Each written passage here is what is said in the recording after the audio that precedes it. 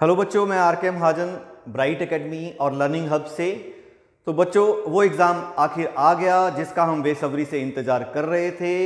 S S C C H S L combined higher secondary level exam बच्चे, जो लोग first time जो हैं एस एस सी का एग्ज़ाम दे रहे हैं, जो फ़र्स्ट टाइम एलिजिबल हुए हैं, मैं उनको बताना चाहता हूँ कि एस एस सी के दो मेजर एग्ज़ाम्स होते हैं ग्रेजुएट्स या प्लस टू के लिए। एक तो होता है combined higher secondary level exam जिसमें प्लस टू और ग्रेजुएट वाले सारे एलिजिबल हैं। एक होता है S S C C G L combined graduate level exam जो कि जिसमें सिर्फ़ ग्रेजुएट एलिजिबल होता है। तो क्योंकि ये प्लस टू बेस्ड एग्ज़ाम है और काफ़ी फ़ेमस एग्ज़ाम है इंडिया में सेंट्रल गवर्नमेंट में इसमें रिक्रूटमेंट होती है तो आज जो है हम वीडियो जो है, क्योंकि इसकी ऑफिशियल नोटिफिकेशन अभी एसएससी की वेबसाइट पे फिफ्थ को ही आई है, आज सेवन्थ है तो इसका हम एक वीडियो बना के हम आज चेक करेंगे क्या एलिजिबिलिटी है, क्या एग्ज़ाम पैटर्न है, क्या सिलेबस है सारा। ठीक है? तो बच्चों, सबसे पहले देखते हैं कि एसएससी और सीएचएसएल के अंदर कौन कौन सी पोस्ट होती हैं तो इसके अंदर बच्चे चार पोस्ट होती हैं। एक होती है लो डिवीज़न क्लर्क एलडीसी की। एक होती है आपकी ज्वाइंट जूनियर सेक्रेटेरिएट असिस्टेंट की जेएसए की। एक होती है आपकी पोस्टल असिस्टेंट और सोर्टिंग असिस्टेंट की।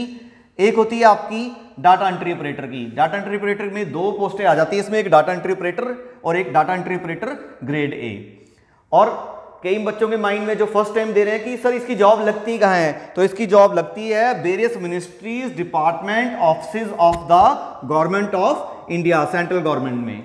ठीक है? तो अब हम देखते हैं इसका जो है इंपॉर्टेंट डेट्स की एग्ज़ाम जो है, निकला है। क्या इसकी लास्ट डेट है? प्री एग्ज़ाम कब होगा? टीयर वन कब होगा? टीयर टू कब होगा? टीयर थ्री कब होगा? तो बच्चे, सबसे पहले जो है, जो आपकी ऑनलाइन एप्लीकेशन है, पाँच तीन से स्टार्ट होगी आपकी। और इसकी जो लास्ट डेट है, पाँच अप्रैल है। फॉर्म फिल करने की।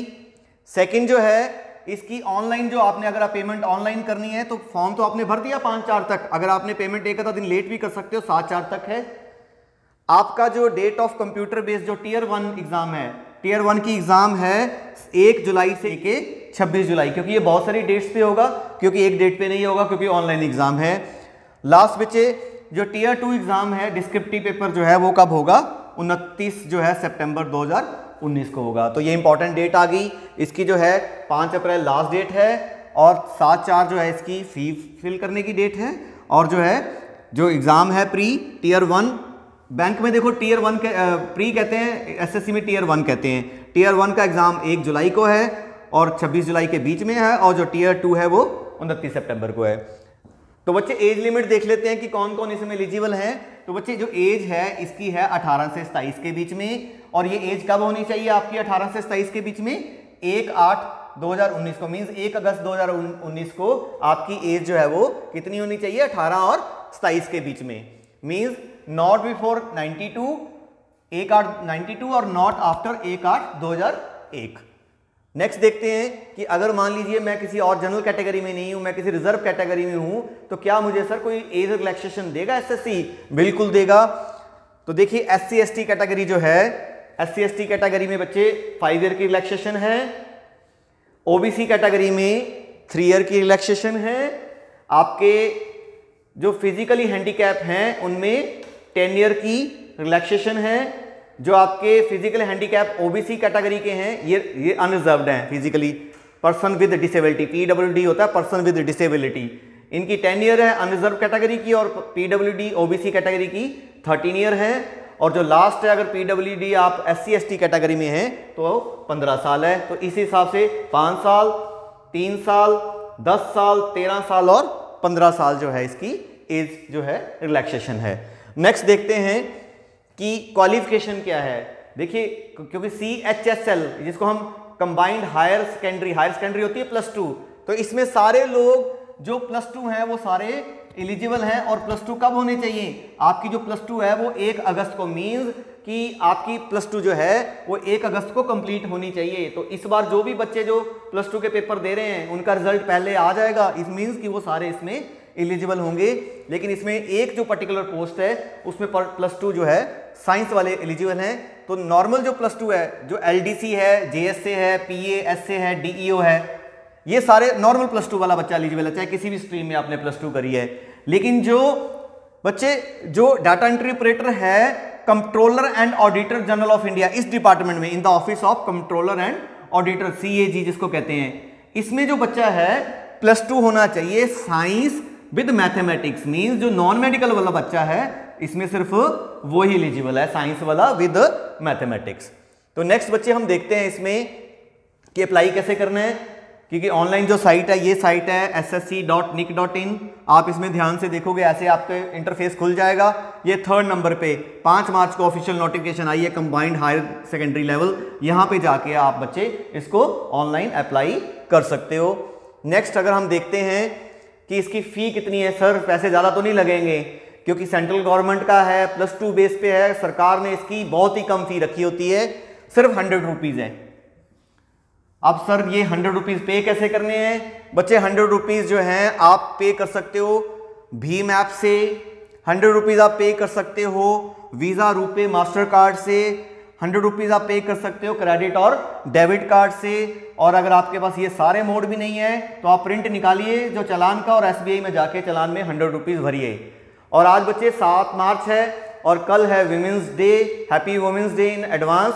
और विमेंस के लिए सरकार ने कर दिया कि टोटल फ्री कोई सौ रुपया भी नहीं देना है आपने।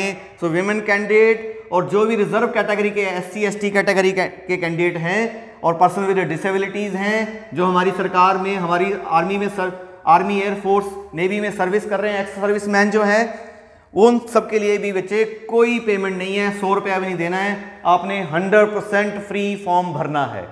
ठीक है? तो अब हम देखते हैं, ये सारा हो गया एलिजिबिलिटी होगी एज होगी फ़ी हो गया एग्ज़ाम में क्या आना है? एग्ज़ाम में बच्चे तीन स्टेजेस में पेपर होगा। पहली स्टेज होगी tier one objective paper computer based जो मैंने आपको बोला, एक जुलाई से 26 जुलाई के बीच में होगा। अब इसमें चार सेक्शन है बच्चे। कौन कौन से? English general intelligence means reasoning quantitative aptitude और जनरल अवेयरनेस कितने क्वेश्चन आएँगे सर 25 25 आएँगे सबके। लेकिन जो मार्क्स हैं, वो 25 नहीं है मार्क्स हैं 50 50 मींस पेपर कितने मार्क्स का हो गया? 200 का। क्वेश्चन कितने आए? 100 मींस एक क्वेश्चन कितने मार्क्स का हो गया? टू मार्क्स का हो गया। टाइम कितना मिलेगा? टाइम मिलेगा 60 मिनट वही एस एस सी में मिलता है या बैंक के एग्ज़ाम में मिलता है। Time is the main problem उसके लिए तो हम नेक्स्ट वीडियो बनाएँगे कि तैयारी कैसे करनी है। इस वीडियो में तो सिर्फ़ हम एलिजिबिलिटी और पैटर्न चेक करेंगे। अब बच्चे इसमें ही हम देखते हैं कि टायर वन जो है ऑब्जेक्टिव है मल्टीपल चॉइस क्वेश्चंस हैं। और कईयों के माइंड में जो उत्तर प्रदेश में है या हिंदी बेल्ट में है, मध्य प्रदेश में है, बिहार में उनको लगता है कि सर ये पेपर हिंदी में भी आएगा कि नहीं? बच्चे, बिल्कुल पेपर की जो लैंग्वेज है वो हिंदी भी होगी और इंग्लिश भी होगी। किन सेक्शंस में? इन तीनों सेक्शन में। ऑब्वियसली इंग्लिश तो इंग्लिश में ही रहेगी ना? इंग्लिश थोड़ी हिंदी में आ जाएगी। तो इन तीनों सेक्शन में पेपर जो है वो बाईलिंगुअल होएगा। आपको हिंदी और इंग्लिश दोनों में ऑप्शन मिलेगी। नेक्स्ट आ गया आपका नेगेटिव मार्किंग होगी कि नहीं होगी? बिल्कुल होगी। वन फोर्थ नेगेटिव मार्किंग है। पॉइंट फाइव ज़ीरो क्योंकि टू मार्क्स का क्वेश्चन है तो पॉइंट फाइव ज़ीरो जिसको हम वन फोर्थ जो है नेगेटिव मार्किंग कहते हैं। नेक्स्ट चेक करते हैं कि टीयर वन हो गया। टीयर टू में क्या आएगा? टीयर टू बच्चे डिस्क्रिप्टिव पेपर है ऑब्जेक्टिव नहीं है, और जो है ये ऑनलाइन नहीं होगा। ये पेन एंड पेपर मोड में होगा, जिसके सेंटर जो है एस आपको जो है रोल नंबर जो आपके इशू होंगे टीयर टू के तो उसमें बताएगा। डिस्क्रिप्टिव पेपर होगा। इंग्लिश और हिंदी दोनों लैंग्वेजेस में आप दे सकते हो। आएगा क्या सिलेबस में? सिलेबस में आएगा, एक तो ऐसे लिखने को आएगा 200 से 250 वर्ड्स का, और एक आपको बच्चे लेटर आएगा, जिसको एप्लीकेशन या लेटर हम कहते हैं 150 टू 200 वर्ड्स की। वही फिर रिपीट कर रहा हूँ, ये दोनों हैं इंग्लिश और हिंदी दोनों मीडियम में। और जो इसके जो मार्क्स हैं द मिनिमम क्वालिफाइंग मार्क्स कर दिए टीयर टू में 33 परसेंट मीन्स हंड्रेड में से 33 लेने पड़ेंगे मिनिमम क्वालिफाई करने के लिए। ऐसा नहीं है कि आपने टीयर वन में ज़्यादा मार्क्स ले लिए और टीयर टू में आपके 30 मार्क्स आए और आप बोलो कि मैं मेरिट में कंसीडर कर लिया जाऊँगा, नहीं कंसीडर किए जाओगे। आपको टीयर टू में भी 33 मिनिमम मार्क्स जो है वो लेने पड़ेंगे। और अब एक दो इंपॉर्टेंट पॉइंट्स जो हैं टीयर टू जो है वो मेरिट में इंक्लूड किया जाएगा मींस हंड्रेड जो हंड्रेड में जितने भी आपके मैक्सिमम मार्क्स आप ले सकते हो, लेने पड़ेंगे, क्योंकि जो कंबाइंड मेरिट है, टीयर वन और टीयर टू की बनेगी। हालाँकि S S C C H S L के पेपर में बच्चे, एक और भी होता है, टीयर थ्री जिसको हम कहते हैं स्किल टेस्ट या टाइपिंग टेस्ट तो टाइपिंग स्किल टेस्ट जो टाइपिंग टेस्ट है, ये क्वालिफाई होता है क्वालिफाइंग नेचर का होता है। लेटर ऑन जो है, इसके अभी कोई डेट फिक्स नहीं है। जब टीयर टू का रिज़ल्ट आ जाएगा तो एसएससी आपको बता देगी कि आपका एग्ज़ाम जो है, ये कहाँ पे होना है। इसमें जो है ऑथराइज एजेंसीज होती हैं एसएससी की, वहाँ पे एग्ज़ाम लिया जाता है टाइपिंग का। और ये टेस्ट जो है, वो क्वालिफाइंग नेचर का है मींस ये मेरिट में कंसीडर नहीं किया जाएगा, लेकिन आपकी टाइपिंग स्किल जो है, वो चेक की जाएगी। और फाइनल सिलेक्शन जो है डिफरेंट मिनिस्ट्रीज में डिफरेंट डिपार्टमेंट में डिफरेंट ऑफ़िस में बच्चे किन की होएगी? जो टीयर वन और टीयर टू की मेरिट में आएँगे, उनके बेस पे जो है फाइनल सिलेक्शन होएगी। अच्छा एसएससी ने अपनी साइट पे एक बहुत इंपॉर्टेंट बीच में लिखा है नोटिफिकेशन में कि आप लास्ट डेट को मत भरिए। इस एग्ज़ाम को वेबसाइट जो है हमारी सर्वर जो है वो हैवी हो जाता है, उस पर लोड तो आप प्लीज़ अभी फटाफट जो है दो चार दिन के अंदर ही जो है, इस फॉर्म को भर दीजिए, ताकि ऐसा ना हो कि बाद में जो है सर्वर पे ज़्यादा लोड हो जाए और आपको फॉर्म जो है, वो फिल ना हो। क्योंकि देखो 2017 के बाद जो है, अब जाके ये एग्ज़ाम निकला है, दो साल की वेट के बाद। तो अब आप इसको मिस मत करिए। और लास्ट ईयर की अगर देखो ओवरऑल तो मैं बच्चे एक वीडियो अलग से बनाऊँगा कि कैसे आपने तैयारी करनी है कौन कौन से टॉपिक आपने करने हैं। लेकिन फिर भी अगर हम लास्ट ईयर की कट ऑफ़ देखें तो जो 2017 का जो एग्ज़ाम हुआ था, उसमें एससी कैटेगरी की 122.50 एसटी की इतनी ओबीसी की 139 अनरिजर्व की इतनी मींस 143.50 जनरल कैटेगरी की और इनकी अलग अलग कैटेगरी की इतनी इतनी मेरिट गई थी। अब आप लोगों ने क्या करना है? बच्चे फटाफट अपने हथियार उठा लो। हथियार मतलब पेन, पेंसिल और अपनी बुक्स उठा लो और जुट जाओ इसकी तैयारी में। All the best and again happy women's day for all the viewers जय हिंद।